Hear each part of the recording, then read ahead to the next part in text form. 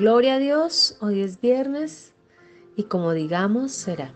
Todo este mes estuvimos trabajando con los dichos de nuestra boca y como digamos será. Recuérdalo, todo lo que nosotros digamos, así será. Toda palabra que sale de nuestra boca es creada en bendición o creada en maldición. Así que acuérdate de lo que hemos aprendido. Pon un carbón encendido en tus labios para no pecar contra Dios y que el Señor ponga un centinela en tu boca para hablar lo correcto. Eclesiastés 5, 2 y 6 dice, no te des prisa en hablar, ni se apresure tu corazón a proferir palabra delante de Dios, porque Dios está en el cielo y tú en la tierra. Por tanto, sean pocas tus palabras. No permitas que tu boca te haga pecar. Toda promesa que le hayas hecho a Dios, cúmplela, por favor. ¿Quieres ser bendecido en todo? Si alguna vez dijiste algo al Señor y le prometiste algo y no lo cumpliste, por favor, cúmplelo para que puedas ver las promesas de Dios sobre tu vida hecha realidad.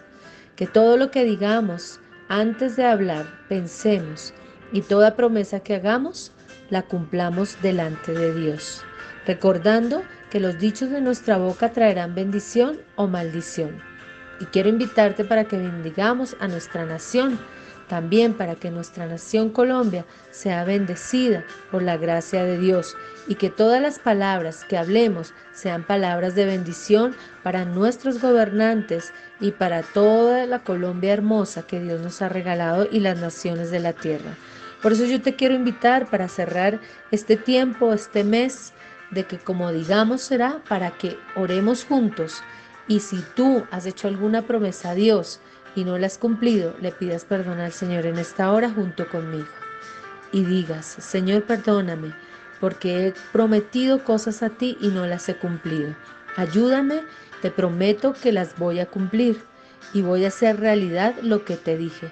Ayúdame a cumplir mis promesas a ti y a las demás personas que yo haya dicho o me haya comprometido con alguien. Espíritu Santo, te entrego mi vida y mi corazón y declaro y bendigo porque como yo diga, será. Bendecimos a Colombia, a sus gobernantes, bendecimos nuestra nación y las naciones de la tierra y te pedimos, Señor, para que traigas paz sobre Ucrania, sobre Rusia y sobre las naciones de la tierra. Hoy bendecimos a Jerusalén y bendecimos todo lo que nos has dado, porque todo lo que nos has dado es un regalo del cielo.